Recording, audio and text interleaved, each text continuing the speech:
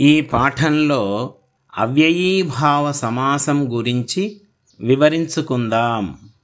అవ్యయీభావ సమాసం పూర్వ పదార్థ ప్రధానం కలది అవ్యయీభావం. పూర్వపదమే క్రియతో అన్వయిస్తుంది. పూర్వపదం అవ్యయంగాను ఉత్తర పదం నామవాచకంగాను ఉంటుంది. లింగ విభక్తి వచనాలు లేనివి అవ్యయాలు.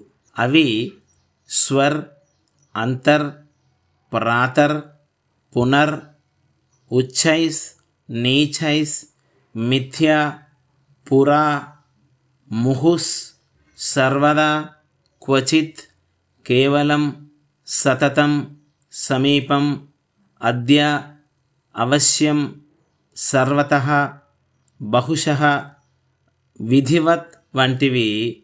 అలానే ఆ అప అను ఉప పర పరి ప్రతి యథ సహ మొదలైన అవ్యయాలు పూర్వపదంగా ఉంటాయి.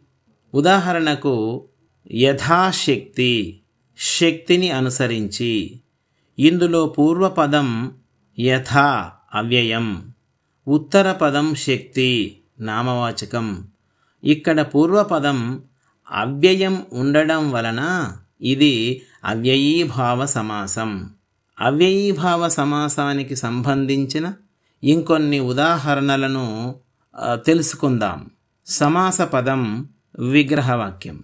యథాప్రకారం ప్రకారమును అతిక్రమింపక అనుకూలం కూలాన్ని అనుసరించి అనురూపము రూపమును అనుసరించి ఆబాల గోపాలం బాలుర వద్ద నుండి గోపాలు దాకా ప్రతిదినం దినము దినము యథావిధి విధిని అనుసరించి ఉపవనం వనానికి సమీపం యథేష్టము ఇష్టమును అనుసరించి ప్రతి విషయం విషయము విషయము అనుగుణం గుణమును అనుసరించి ప్రత్యహం. అహము అహము. సకుటుంబం.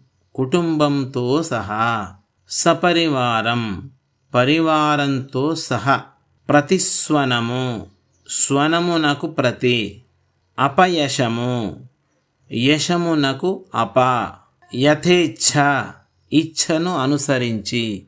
ఈ విధంగా అవ్యయీభావానికి అనేక ఉదాహరణలను ఇవ్వవచ్చును.